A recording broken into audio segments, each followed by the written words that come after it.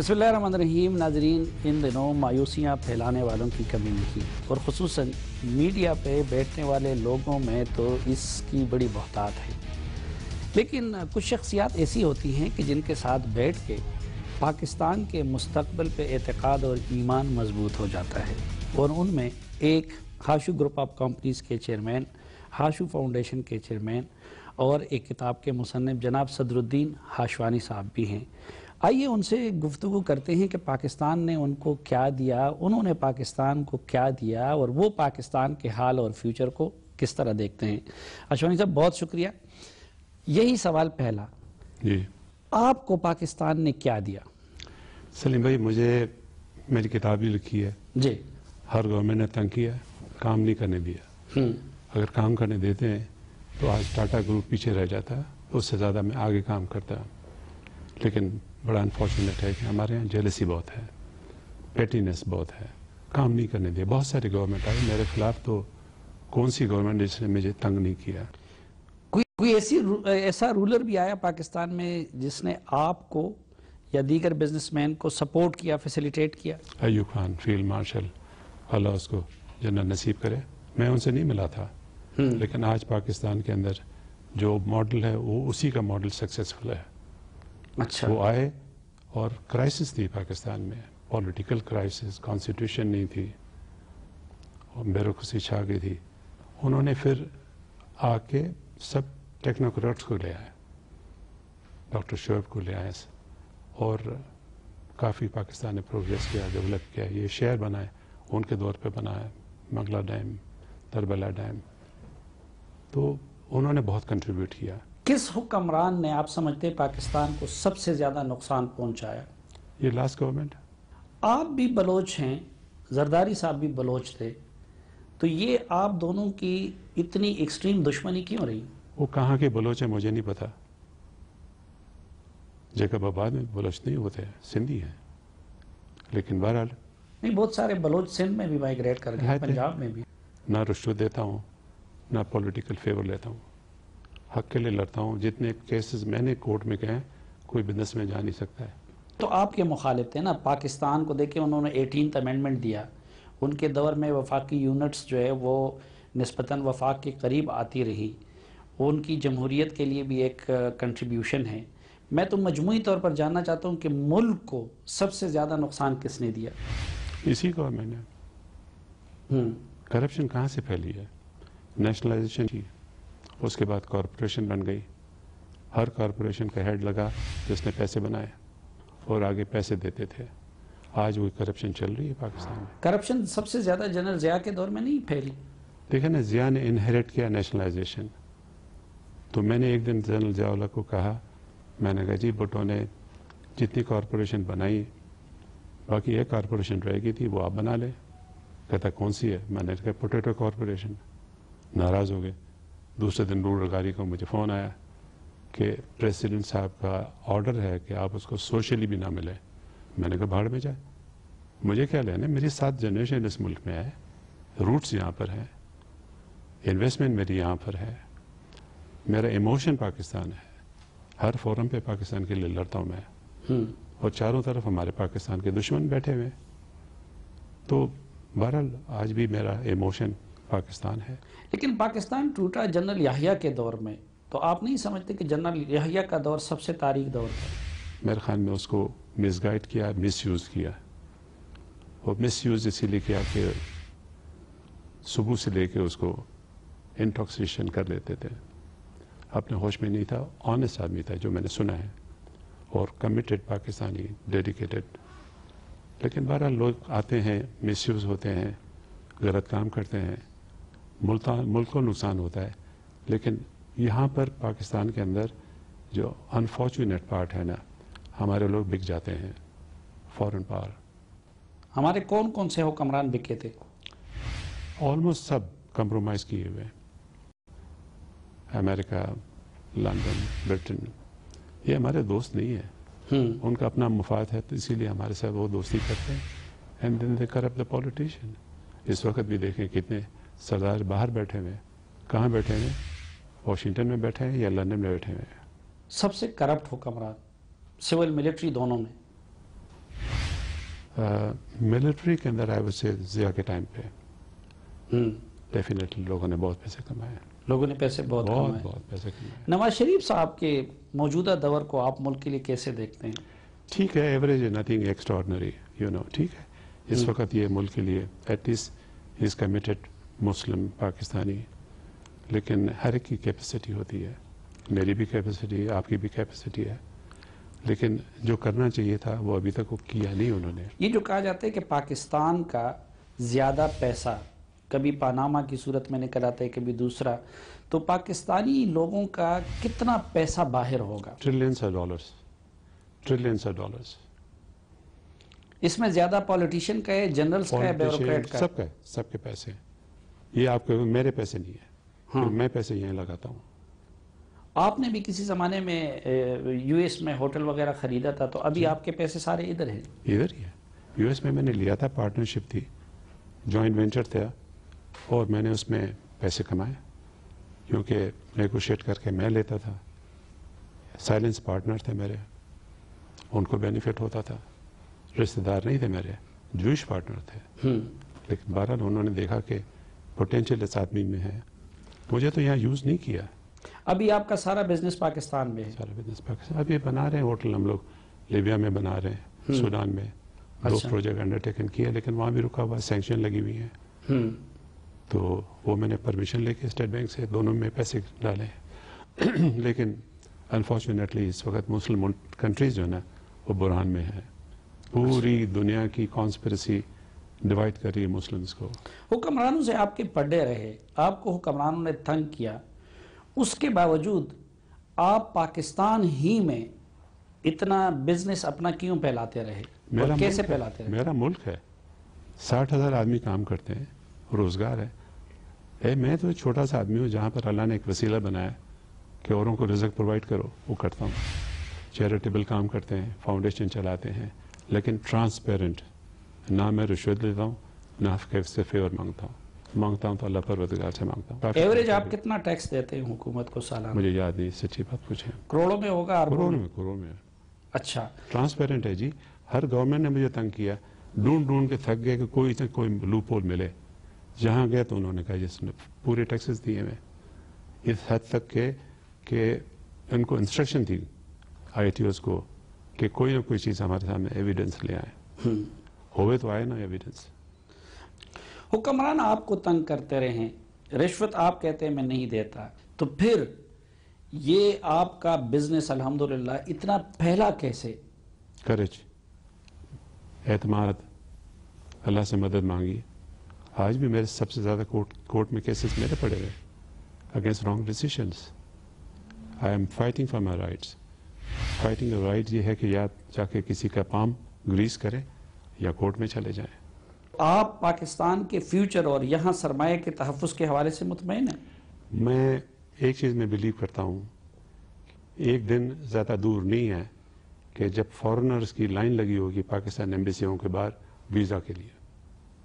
इतना फ्यूचर पाकिस्तान का ब्राइट देखता हूँ। अल्लाह ताला ने इतना बड़ा नवाजा है हमें प्यारा मुल्क जिसमें हर एक चीज़ मौजूद है। Name a thing which we don't have it अभी Reko Diq is worth 22 trillion dollar ये मेरे पास किसी ने फ़ोन किया कि जी इसको ज़रा देख लें। जब मैंने अपने जियोलॉजिस्ट से दिखाया तो उन्होंने कहा, ये तो बड़ी, बहुत बहुत बड़ी एक सरमाया है पाकिस्तान का। मैंने उसमें शिरकत नहीं की। मुझे कहा 25 परसेंट हम रखेंगे 75 परसेंट आपके पास होगा। जब मैंने देखा, इतना बड़ा सरमाया तो मैंने कहा, नहीं, आज वो फौजियों के पास है। क्योंकि हमारा सबसे बड़ा दुश्मन इंडिया बैठा है किनारों पे we must support defence of Pakistan आज वो रिकॉर्ड डे जो उनके पास है। और वो उसमें से अपना बजट खुद मीज कर सकते हैं। एक तरफ़ इंडिया जैसा बड़ा और मकार दुश्मन, दूसरी तरफ़ है अफ़गानिस्तान हॉस्टाइल तीसरी तरफ़ ईरान नाराज़, मुल्क के अंदर सियासतदान करप्ट सिविल मिलिट्री लीडरशिप आपस में कश्मकश में मुबतला। दहशत गर्दी है, इंतहा पसंदी है तो फिर आपके इस दावे की बुनियाद क्या है कि एक दिन गैर मुल्की सरमाकारों की लाइन लगी होगी? ईमान ईमान ईमान। अल्लाह भी है दुश्मन भी है लेकिन अल्लाह भी है। और निगहबान अल्लाह है सुबहान अल्लाह वो प्रोटेक्ट करेगा। आप बलोच हैं। आजकल सबसे ज़्यादा महरूमी के शिकार बलोच हैं। इस पाकिस्तान में और इस स्ट्रक्चर में बलोच खुशहाल और मुतमिन हो सकता है? देखिए ना वहाँ भी अभी सरदारी सिस्टम बहुत है। और जब तक सरदारी सिस्टम रहेगी तो कोई खुशहाल नहीं हो सकता है। हम्म। सरदार जो है ना उनको कमी नहीं होती पैसों की। गरीब आदमी के पास कमी होती पैसों की। हमारे पास हम कहते हैं मुसलमान हैं लेकिन जो हमारे इस्लामिक फ़र्ज़ हैं तो हम पूरा नहीं करते हुकूक के बाद आप किसी पूछें सरदार ने स्कूल खोली है कॉलेज खोली है यूनिवर्सिटी खोली है हॉस्पिटल बनाए परेशान है बेचारे लोग। आप समझते हैं कि बलोचों की महरूमियों के जिम्मेदार खुद बलोच सरदार हैं? वो डेफिनेटली क्योंकि वो उन्होंने अपने इलाके को सही नहीं किया। मुल्क को तो छोड़ें आप। अच्छा। बातें करते हैं जी। जब आते हैं पॉलिटिक्स में तो वो उनकी बातें करते हैं कि हम ये कर लेंगे। जाते हुए कुछ नहीं छोड़ जाते अपने साथ अजाब ले जाते हैं। अमेरिका को आपने पाकिस्तान का दुश्मन पाया या दोस्त? दुश्मन? अमेरिका जूश के हाथ में है। लेकिन कुरान शरीफ में तो ये भी है ना कि कुल या अहलुल किताब तालव इला कलिमतिन सवाइम बैनना व बैनकुम कि आओ दोनों यानी यहूद और नसवारा से कह दो कि मुश्तरका नुकात पे इकट्ठे होते हैं उनके साथ शादी ब्याह की इजाज़त है। वो सही है लेकिन आफ्टर ऑल कुछ प्रिंसिपल तो होने चाहिए ना। दुश्मनियाँ तो नहीं होती थी हर वक्त। दोस्ती होती है किसी लेवल पे। वन साइडेड तो नहीं होता ना। ठीक। अब वन साइडेड इंडिया ने तीन अटैक पाकिस्तान पे किए हैं। और पाकिस्तान तोड़ा उन्होंने, बांग्लादेश बनाया कॉन्स्परेसी हुई। हमारे लोग भी उसमें शरीक थे अनफॉर्चुनेटली पॉलिटिशियन के टूटे ताकि हमारी सुल्तनत बने, राज बने, हम हुक्मरान बने। जैसे बादशाह होते थे ना, बादशाह तो सिर्फ़ एक ही, अल्लाह सुबहान अल्लाह। इंडिया तो आज उससे ज़्यादा कुवत में है भी और उससे ज़्यादा कुवत से वो साजिशें कर रहे हैं। पाकिस्तान के अंदर बाज़ दो नंबर लोगों की भी कमी नहीं।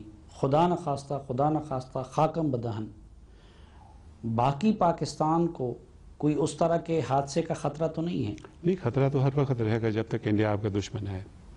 इसराइल आपका दुश्मन है। बहुत सारे और भी हिडन एनिमीज़ हैं। लेकिन आज अल्लाह का शुक्र है हमारे पास न्यूक्लियर है। हम्म। मैंने अभी कहा था लंदन में एक कॉन्फ्रेंस में मैंने कहा तीन उन्होंने वॉर किए। अब आ जाए चौथी बार। इनको पता चल जाएगा कौन में पाकिस्तान। हम्म। लेकिन अब भी जो है बरामदाग जैसे लोग जो कि वही शेख मुजीब वाली ज़ुबान में बात कर रहे हैं। उनको पता नहीं है कि तनाई में वो कहाँ जाएँगे। तनाई आ जाएगी इन लोगों को। हम्म। पाकिस्तान को कुछ नहीं होता। ये हज़ार तरह से जाके बातें करें। लेकिन आज ये शुड बी प्राउड कि हमारी ज़मीन है हमारा मुल्क है हमारा कल्चर है हमारा दीन है हमारा ईमान है। इससे बढ़ के क्या चाहिए आपको? हम्म। उसके बाद तो सिर्फ़ एक कबर की जगह कबर की जगह चाहिए। नाजरीन हाशवानी साहब के साथ ये खसूसी जरगा जारी रहेगा। हमारे साथ रहिए एक मुख्तसर सी ब्रेक के बाद वापस आते हैं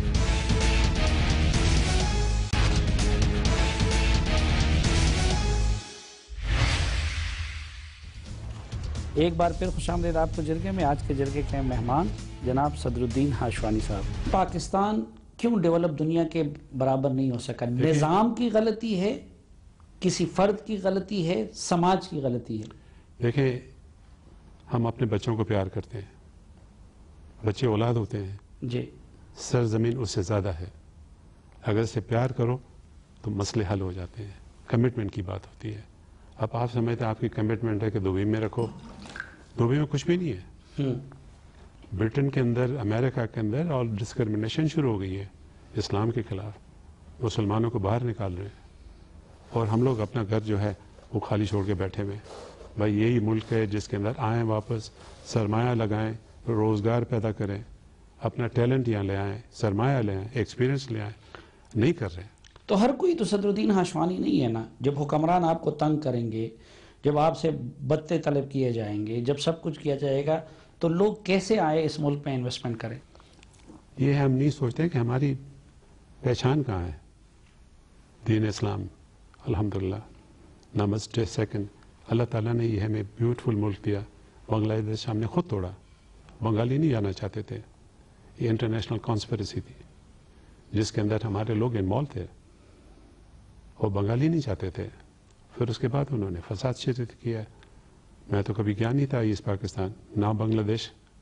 लेकिन अफसोस की बात यह है कि इस वक्त दीन इस्लाम के दुश्मन इकट्ठे हो गए। They are all united and we are divided. We are divided. All Muslim इससे अच्छा आपको कोई मिल नहीं सकता है कि दीन इस्लाम में आपका जन्म हुआ है दीन इस्लाम में हर एक चीज़ आपको दी है उसको सिर्फ़ आप इम्प्लीमेंट करें तो लाइफ बड़ी आसान है पाकिस्तान को ज़्यादा नुकसान मौलवी ने पहुँचा है या मिस्टर ने बहरहाल जदीद पढ़े लिखे बिल्कुल बिल्कुल मिलके मिलके हुआ अकेला नहीं हुआ जी अच्छा और ज़्यादा नुकसान मिलिट्री रूलर ने पहुँचाया या सिविलियन ने? सिविलियन ने पहुँचाया। ये डेमोक्रेसी तो नहीं चल रही है। हम्म, ये डेमोक्रेसी तो नहीं है कि जिसके ऊपर आप बैठ के सेलेक्ट करें। हम्म। ये तो सिलेक्शन है इलेक्शन तो नहीं है। तो कैसी डेमोक्रेसी चाहिए पाकिस्तान? आपको चाहिए यहाँ पर प्रोविंसेस बढ़ा दें। हम्म, अब इस वक्त चार प्रोविंस हैं। एक आदमी को हज़ार माइल ट्रैवल करके जाना पड़े इस्लामाबाद में। सेंट्रलाइज इस्लामाबाद है। डिसेंट्रलाइज करें। किस बुनियाद पे प्रोविंसेस बनाए? लिसानी या इंतजामी बुनियादों इंतजामी। तो वो मान जाएँगे सबसे ज़्यादा माने ना तो माने, आपके बलोच नहीं मानेंगे नहीं, बलोच सिंधी मानेंगे। नहीं मानेंगे। नहीं, अगर बलोचिस्तान को भी आप चार डिवाइस कर लें मानेंगे उनको तो मिलेगा राइट मिलेगा। हम्म, पार्टिसिपेशन मिलेगी। और basically country belongs to everybody चाहे वो मिनिस्टर है चाहे वो सर्वेंट है तो मौजूदा स्ट्रक्चर में क्या खामियाँ हैं? ये तासुर दुरुस्त है कि पंजाब ज़्यादा वसाइल ले जाता है? देखिए ना, पंजाब बड़ा प्रोविंस है। लेकिन अगर प्रोविंस पंजाब की भी अगर बन के चार प्रोविंस तो डिवाइड हो जाएँगे। बलूचिस्तान के तीन हो जाए, तीन प्रोविंस बन जाएँगे। सिंध क्या बना दे? चार प्रोविंस बना दे। फ्रंटियर के बना दे? तीन प्रोविंस तो मतलब उनकी पार्टिसिपेशन बढ़ जाएगी। राइट्स उनको मिलेंगे। तो अब अगर तीन वज़ीर आला लूट रहे हैं तो फिर तेरह लूटेंगे तो। नहीं ये तो लूटने वाली बात तो खत्म हो जाएगी नहीं फिर अकाउंटेबिलिटी होगी। हम्म, एक प्रोविंस के अंदर अगर अब कोई बेईमानी कर रहा है तो एक्सपोज हो जाएगा। कैसे हो अकाउंटेबिलिटी क्या सिस्टम बनाया जाए? जो सिस्टम लो लोग ले आए प्रोविंस इलेक्शन कराएँ जैसे अयूब खान ने बनाई थी बेसिक डेमोक्रेसी तो उस हिसाब से प्रोविंस बनेंगे लेकिन इलेक्ट देयर ओन लीडर ये मुशर्रफ साहब कहते हैं कि पाकिस्तान में डेम- डेम- डेमोक्रेसी नहीं चल सकती। सबसे बड़ा नुकसान तो उन्होंने पहुँचाया। मुशर्रफ साहब ने? एब्सोल्युटली क्या नुकसान पहुँचा पूरे सुप्रीम कोर्ट जजेस को अरेस्ट कर दिया। हम्म, क्योंकि वो उसका नहीं माना। एक आदमी का पूरा सुप्रीम कोर्ट जेल में था। ये कस मुल्क में होता है। अभी थोड़ी देर पहले आप कह रहे थे कि सिविलियन ने नुकसान पहुँचाया। प्रोपोर्शनेटली प्रोपोर्शनेटली लेकिन ये है कि इसने मुशरफ ने अच्छा काम किया मेरा दोस्त है। हम्म, मैं क्रिटिसाइज नहीं कर रहा हूँ उसको ज़ात को लेकिन ऐसे ऐसे फैसले भी किए थे कि वो जो जायज़ नहीं थे। और वो जो शौकत अज़ीज़ साहब को लाए थे वो? वो तो हमारा है ही नहीं पाकिस्तान का। किसका है? बाहर बाहर मुल्कों का है। नहीं तो पाकिस्तानी नहीं था उनका नंबर? भाई अब आप कहो तो में वेंडी चैम्बरलैन को ले जाएँ। तो वेंडी चैम्बरलैन कौन थी? हम्म, CI agent.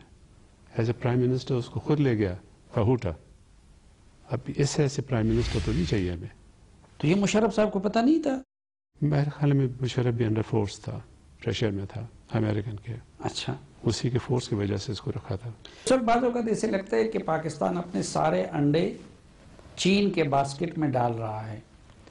तो चीन पे ये एतमाद किया जा सकता है कहीं खुदा न खास्ता चीन हमारे लिए मुस्तकबिल का अमेरिका तो नहीं बनेगा।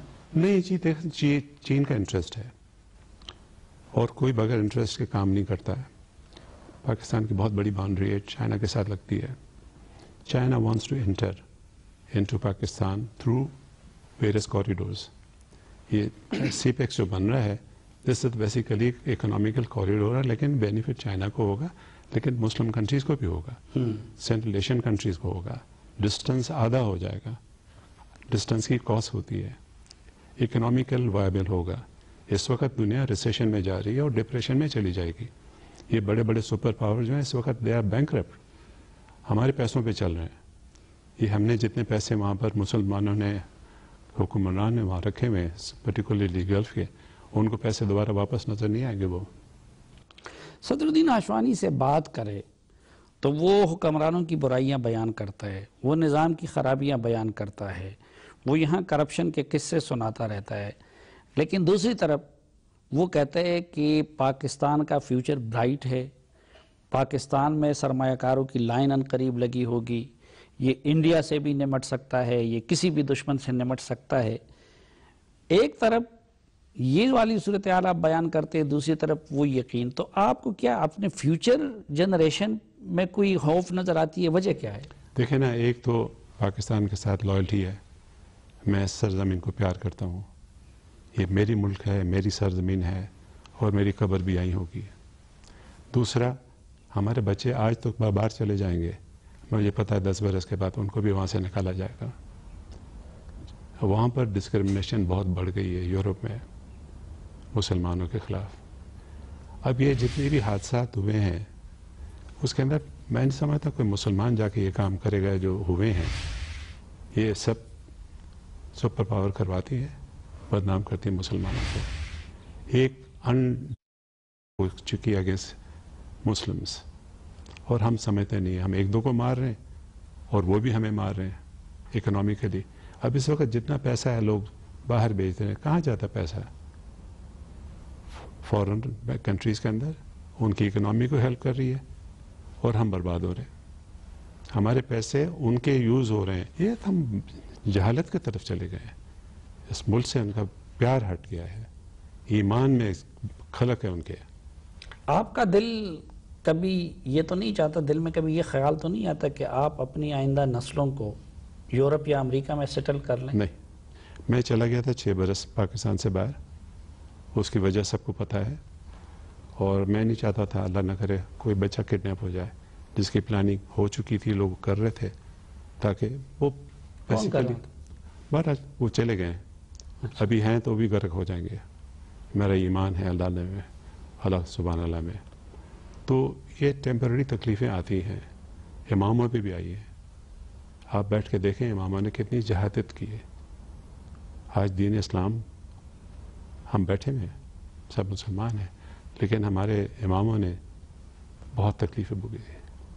कभी दिल में ये ख्याल तो नहीं आया कुछ लोगों की तरह कि आप इंडिया में होते तो आज टाटा के लेवल के होते और पता नहीं क्या क्या कुछ होते हमारे यहाँ बाज़ ऐसे भी बेवकूफ़ है अदनान समी खान जैसे।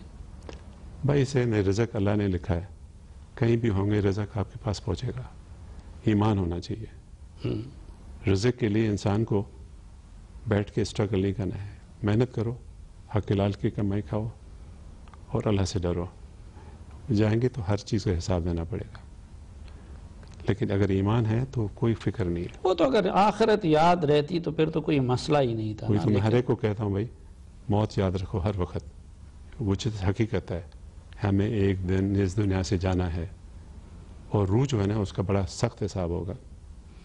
पाकिस्तान जैसे मुल्क में ताकत और इख्तियार और दौलत का मालिक हो के मौत को याद रखा जा सकता है? हर वक्त मैं तो याद करता हूँ। और बच्चों को कहता हूँ कि हमेशा याद करो कि ये टेम्पररी है ये वेल्थ भी टेम्पररी है ये लाइफ जो है ना ये भी मुसाफरी है। एक हमने ये कपड़े पहने हैं दूसरा ये जिसम है। ये सब मट्टी में मट्टी मिल जाना है। नाजरीन हशवानी साहब के ये करी करी बातें सुनेंगे मज़ीद भी उनके सामने मज़ीद भी कई सवाल रखेंगे लेकिन एक मुख्तर से वक्त के बाद। एक बार फिर खुश आमदेद आपको जरगे में आज के जरगे में हमारे मेहमान हैं हाशु ग्रुप ऑफ़ कंपनीज़ के चेयरमैन जनाब सदरुद्दीन हाशवानी साहब। किसी भी तबके में सियासतदान हो जर्नैल हो म, सरमायाकार हो सरमायादार हो हमने देखा कि बाप से बेटा दो कदम आगे हैं, हिरस में भी, करप्शन में भी और बाकी हवालों से भी। तो आप नई नस्ल से मायूस हैं या पुरुमीद हैं? उम्मीद हो उसको हमने जो एक जो तरबियत दी है, ये है कि ईमान के ऊपर और ये दुनिया छोड़नी है। बच्चे अल्हम्दुलिल्लाह सब अच्छे बच्चे हैं मेरे। नहीं मैं सिर्फ़ आपके बच्चों की नहीं मैं पाकिस्तान के पूरे नई नस्ल की बात कर रहा हूँ। नई नस्ल अब ये डिपेंड करता है माँ बाप पे क्या तरबियत देते हैं उसको क्या एक्सपेक्टेशन देते हैं। बच्चों को भी ये बताएँ कि बेटे हमें यहाँ से जाना है वापस हक लाल का कमाओ। इतना कमाओ जो तुम खर्चे की ज़रूरत है तुम्हारे को। बाकी काम करो खैरात करो और किस्मत खर्च करो। तो हम कर रहे हैं। हम अब मैं तो कंट्रोल कर सकता हूँ अब मेरी फैमिली को। लेकिन बाकी जो हुक्मरान हैं या अमीर आदमी हैं उनको एहसास होना चाहिए कि ये हमारे पास एक अमानत है पैसा है जो है औलाद है। ये सब हाथ से चले जाना है। एक दिन हमें अपना हिसाब देना होगा। और औलाद को अपने तरबियत सही दी तो वो सही होंगे। नहीं औलाद को आपने तरबियत तो सही दी है लेकिन आप जो दूसरों को नसीहत कर रहे हैं तो कितना परसेंट आप इस कौम को लौटा रहे हैं? कितना परसेंट आप खैराती कामों पे लगा रहे हैं? हम तो लगा रहे हैं जी हाशु फाउंडेशन ने बहुत बड़ा काम किया है। और हज़ारों आदमियों को बेनिफिट दिलाया। मैं बीच में अभी लंदन में था तो एक लड़का आया उसने कहा जी I want to thank you मैंने कहा वॉट फॉर कहते जी मैं तो एम बी ए किया हूँ लंदन में बैठ के। मैंने कहा मुझे क्यों थैंक करें? कहते हाशु फाउंडेशन ने मुझे स्पॉन्सर किया है। नई नस्ल को आपका पैगाम क्या है? मैसेज क्या है? ये तुम्हारा मुल्क है और कोई जगह नहीं है जाने के लिए। Be loyal to your country work hard educate your self create jobs create jobs और इतने मुल्क के अंदर तो this is the virgin territory क्या नहीं है पाकिस्तान के पास?